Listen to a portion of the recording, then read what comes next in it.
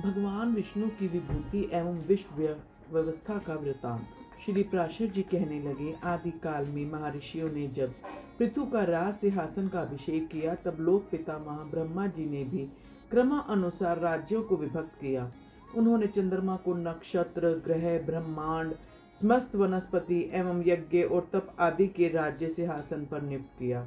इसी तरह विशर्वा के बेटे कुंवर को राजाओं का वरुण को जल को, विष्णु को, आदित्यों को का तथा अग्नि को वसुगण का अधिपत्य प्रदान करके उन्हें उनका अधिपति नियुक्त कर दिया। इसी तरह दक्ष को प्रजापतियों का, इंद्र को मरुद गणों का और प्रहलाद जी को दैत्य दानवों का अधिपति बनाया। यमराज को पितृगण के राज्य पद पर आसीन किया तथा समस्त हाथियों का अधिपति एरावत को निश्चित किया। इसी प्रकार पक्षियों का राजा गरुड़ को देवताओं का राजा इंद्र को, घोड़ों का राजा उच्छ्रवा को एवं गौं का अधिपति वृषभ को दे बनाया। सर्पों का स्वामी शेषनाग और वन्य पशुओं का राजा सिंह को बनाया। इसी तरह हिमालय को स्थावरों का राजा कपिल देव को मुनिजनों का बाद को नख और दाढ़ वाले मृग गण का राज्य सौंप डाला।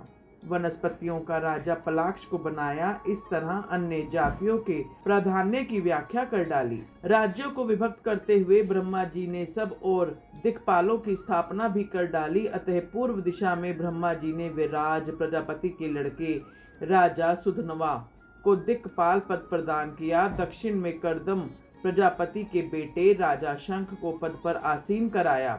पश्चिम दिशा में उन्होंने कभी च्युत न होने वाले राजस के पुत्र महात्मा केतुमान की नियुक्ति की।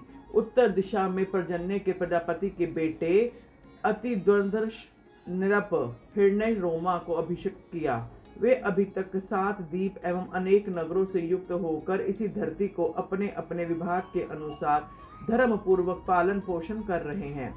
ये तथा दूसरे जो राजा लोग हैं या भविष्य में होंगे सभी विष्णु भगवान के अंश हैं, जो भी देवताओं, दैत्य, दानवों तथा मांस भोजियों का राजा है, पशुओं, पक्षियों, मनुष्य, सर्प तथा नागों के अधिनायक नियुक्त किए गए हैं, जो वृक्ष, पर्वत, ग्रहों के स्वामी निश्चित किए गए हैं तथा भूत, भविष्य, वर्तमान काल के जितने भूतेश्वर हैं, उन संपूर्ण सर्वभूतों की विष्णु भगवान के अंश द्वारा उत्पत्ति हुई है। श्री विष्णु के अतिरिक्त इनका पालन अन्य नहीं कर सकता। रज तथा सत्व आदि गुणों के अवलंबन द्वारा ही सनातन ईश्वर की विश्व के सृजन के समय समय उसकी रचना करते हैं। स्थिति के समय उसका पालन भार उठाते हैं तथा अंत समय में काल रूप हो उसका संहार कर डालते हैं।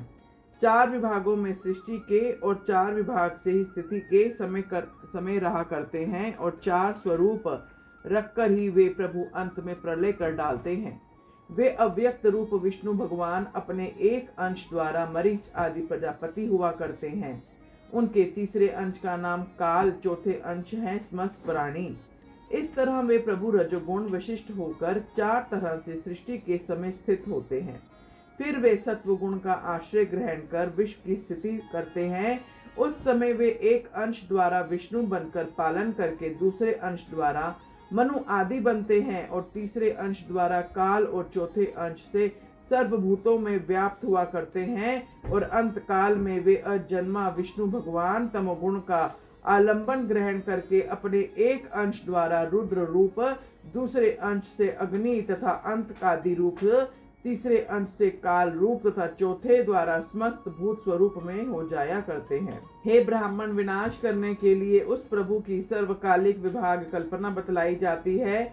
ब्रह्मा, दक्ष आदि, प्रजापति, गण, काल और संपूर्ण प्राणी ये विश्व की रचना के कारण है।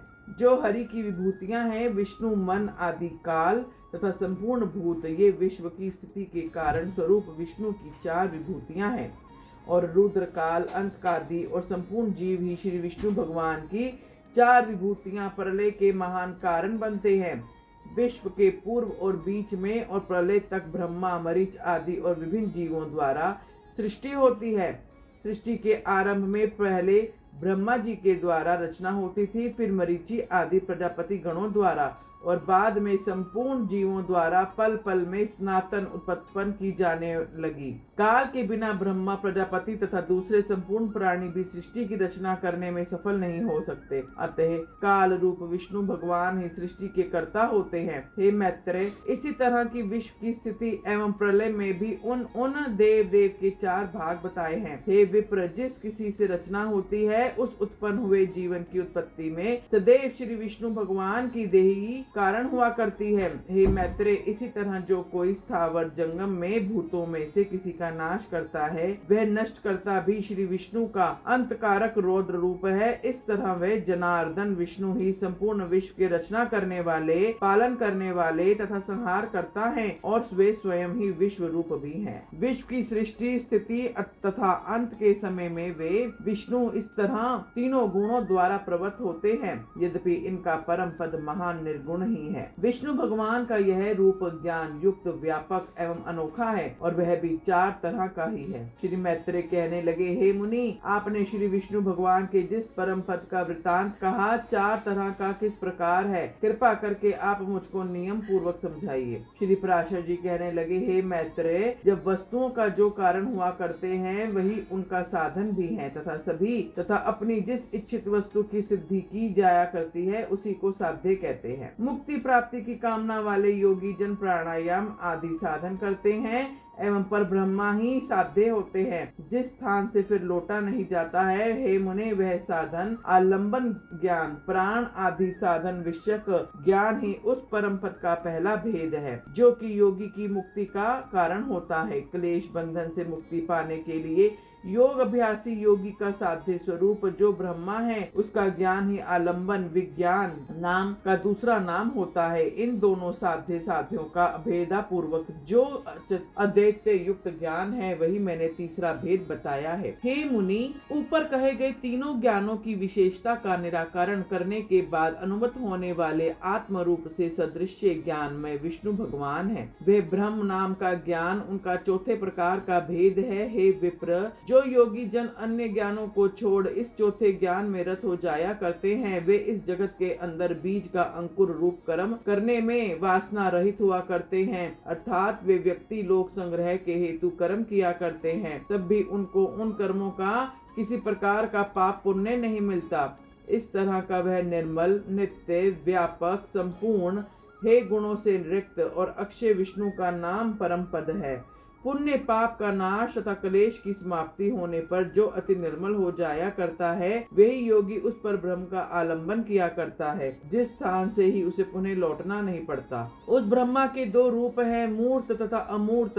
ये दोनों रूप एवं अक्षर स्वरूप संपूर्ण प्राणियों में वर्तमान है वह पर ब्रह्मा अक्षर ही तथा शर ही समस्त विश्व है। जिस तरह एक देशीय अग्नि की रोशनी सब स्थानों में फैली रहती है, उसी तरह यह समस्त विश्व पर ब्रह्मा विष्णु की ही शक्ति है। हे विप्र, ब्रह्मा, विष्णु और शिव ये ब्रह्मा की मुख्य शक्तियाँ हैं। उनसे न्यून देवता है, उनमें दक्ष आदि प्रजापति आते हैं। उनसे भी नीचे मानव, पशु, पक्षी सरी सर्प मृग आदि है और उनसे भी अधिक न्यून गुल्म, लता, विटप आदि हुआ करते हैं। इसलिए हे मुने, उत्पन्न होना, छिप जाना, जन्म जाना, जन्म एवं नाश आदि विकल्प में भी यह समस्त विश्व यथार्थ में अक्षय एवं नित्य है। विष्णु भगवान ही ब्रह्मा के स्वरूप और मूर्त स्वरूप, जिनका चिंतन योग आरंभ से पहले योगी जन किया करते हैं, उन्हीं विष्णु भगवान में यह समस्त विश्व पलावित है। उनके द्वारा ही इस समस्त विश्व की उत्पत्ति हुई है, उन्हीं में यह स्थित है तथा स्वयं ही वे संपूर्ण विश्व है। हे विप्र, बारह साल तक कार्तिक के महीने में पुष्कर में स्नान से जो फल प्राप्त होता है, वह सब इसके सुनने से मनुष्य को मिल जाता है। देवता, ऋषि, गंधर्व पित्र तथा यक्ष आदि के जन्म का वृतांत सुनने वाली व्यक्ति को वे विष्णु भगवान वरदायक बन जाते हैं।